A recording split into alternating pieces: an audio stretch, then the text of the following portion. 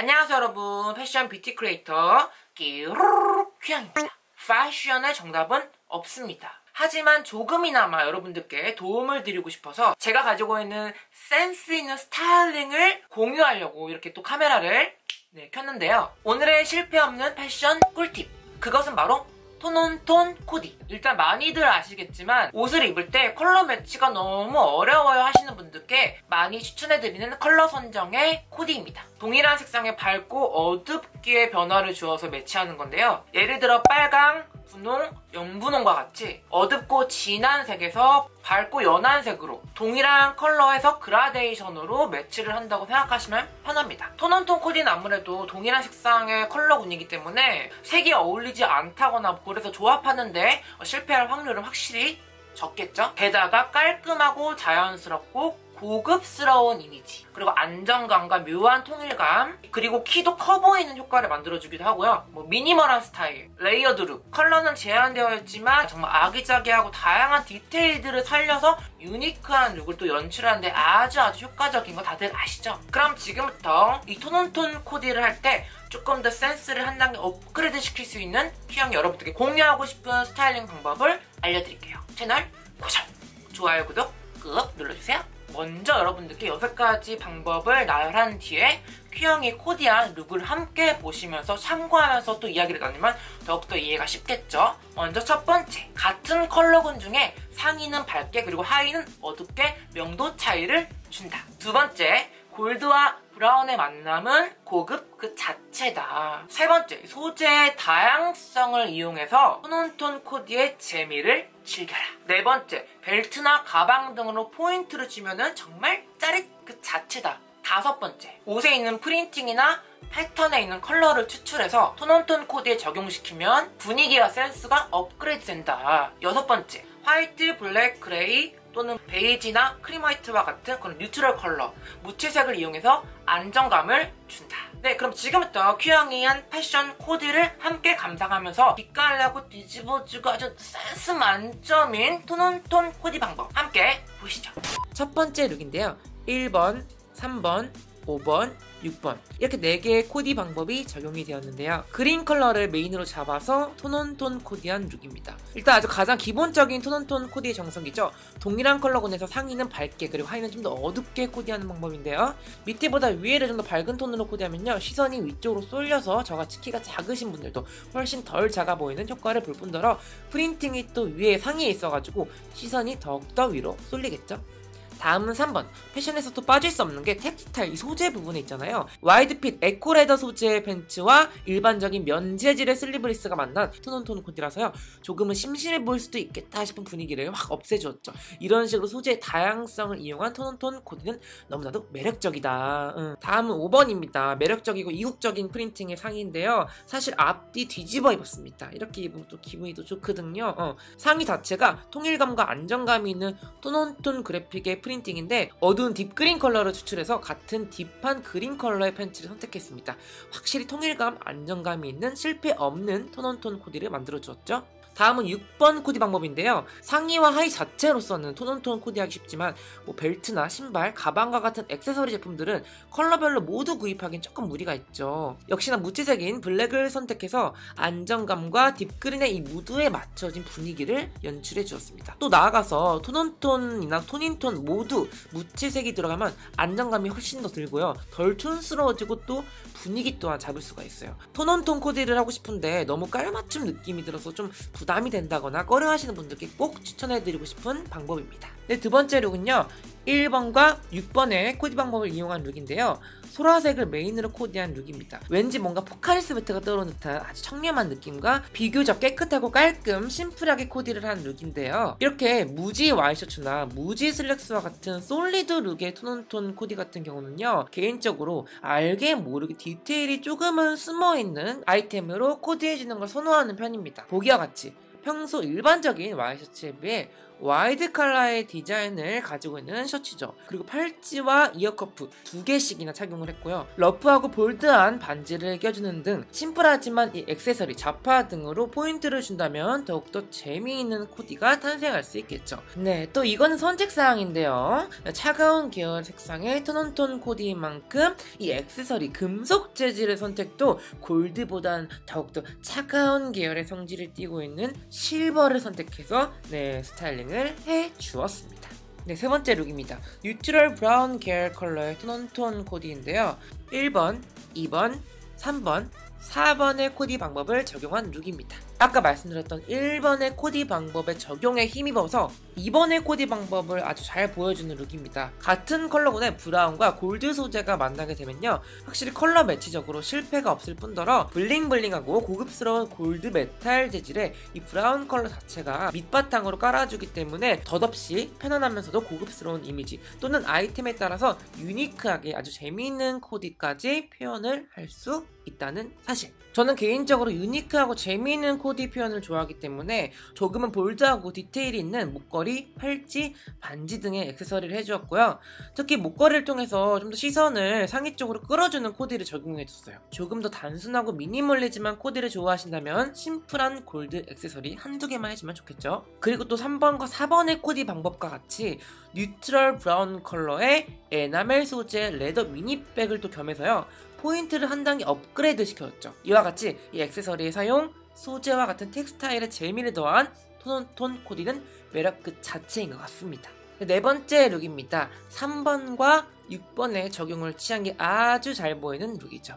보다시피 핑크 컬러 자체만으로도 존재감이 있고 기분을 새롭게 하는 컬러이기 때문에 저는 개인적으로 핑크색 코디를 할 때는 tone on tone 코디를 주로 즐겨 입는 편입니다. 바지 소재가 궁금하신 분들이 있을 텐데 바지는 데님입니다. 가장 강력한 데님의 컬러인 블루에서도 연청, 진청, 돌청 등 다양하게 있듯이 요즘에는 이렇게 아예 다른 컬러감이 들어간 데님 아이템도 굉장히 많은데요. 핑크색 데님 팬츠에 면 소재의 상의 그리고 벨트까지 정말 기분이 좋아지는 컬러가 아닐 수가 없다. 신발까지 핑크로 신어주면 너무 핑크 인간 그 깔맞춤 느낌이 날 것 같아서 여섯 번째 코디 방법을 적용해서요. 역시 블랙 슈즈를 신어줘서 블랙핑크 느낌을 살려서 범람한 듯한 핑크의 색감을 한 단계 정리해주는 역할을 해주었습니다.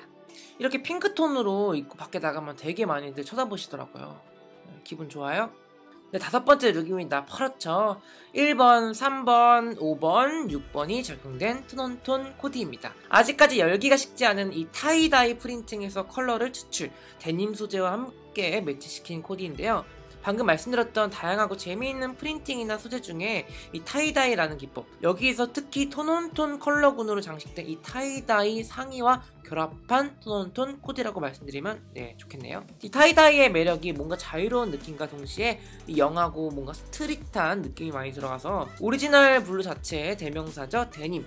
그리고 그 중에서도 어느 정도는 loose하고 wide한 fit의 팬츠와 함께 코디하는 게 영 기분이 좋더라고요.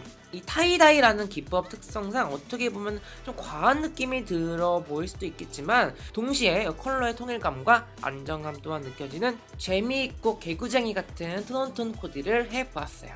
여섯 번째 look입니다. 4번과 6번이 적용된 look인데요. 특히 이번 look에는 이 4번과 6번이 아주 아주 아주 아주 강하게 표현되고 있는 코디입니다. 전체적으로는 moss green 컬러에 중점을 맞춘 tone on tone 코디에서 무채색인 블랙, 화이트, 그리고 실버 소재의 그레이까지 합을 맞추어서 포인트를 아주 제대로 주고 있는데요. 이 4번과 6번 코디 방법을 동시에 드러내고 있죠. 그런데 이렇게 tone on tone 코디를 할 때 있어서 무채색을 또 어떻게 쓰냐에 따라서 안정감을 주거나 혹은 강한 포인트를 줄 수가 있는데요. 무채색을 역으로 이용해서 명도차가 큰 zebra 벨트가 포인트를 제대로 하고 있죠. 어, 그래서 이번 look에서는 6번의 방법이지만 무채색을 이용해서 안정감이 아닌 포인트를 줬다는 겁니다. 또한 실버 메탈 소재가 아기자기하게 들어간 mini bag을 들고 있기 때문에 3번의 코디 방법도 나지막하게 엿볼 수 있는 look이라고 말씀드릴 수가 있습니다.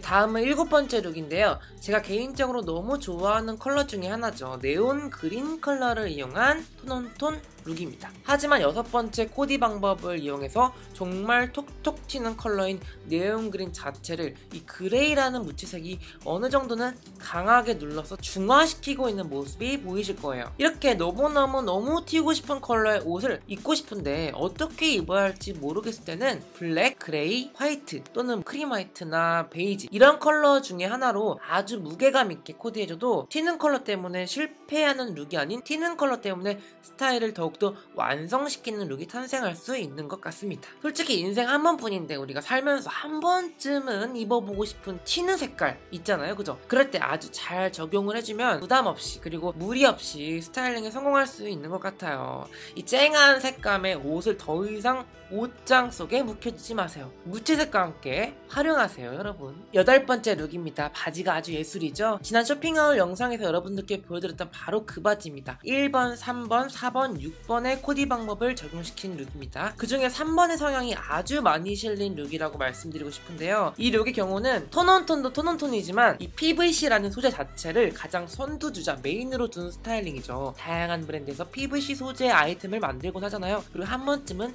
소화도 해보고 싶잖아요. PVC 소재 자체가 굉장히 튀는 소재이기 때문에 이 PVC 아이템을 입거나 들고 싶은데 너무 부담스럽다 하시는 분들께는 tone on tone 코디를 추천해드립니다. 그리고 1번과 같은 코디 방법을 썼 음에도 불구하고 바지가 굉장히 튀죠. 왜냐면 바지의 소재가 막강하거든요. 4번과 6번의 코디 방법을 사용함에 있어서 블랙으로 안정감과 통일감으로 마무리를 준다. 그런데 개인적으로 이렇게 튀게 입을 때는 중화감도 중요하지만 unique한 느낌 내고 그냥 아예 unique한 느낌으로 가자라는 주의가 있어서 가방이나 벨트를 선정할 때 컬러감으로는 통일감, 안정감을 주지만 가방 shape 자체에서 주는 또 다른 유니크한 매력을 덤해버리는 거죠. 전반적으로 낮고 무거운 tone on tone 색채 안에서 독특한 매력을 담은 시도를 한 코디라고 말씀을 드리고 싶어요. 아홉 번째 look입니다. 점점 tone on tone 코디 난이도가 올라가곤 하죠. 5번과 6번의 성향이 강한 코디 방법입니다. 이 look의 경우는요, 코디의 시초가 바지였거든요.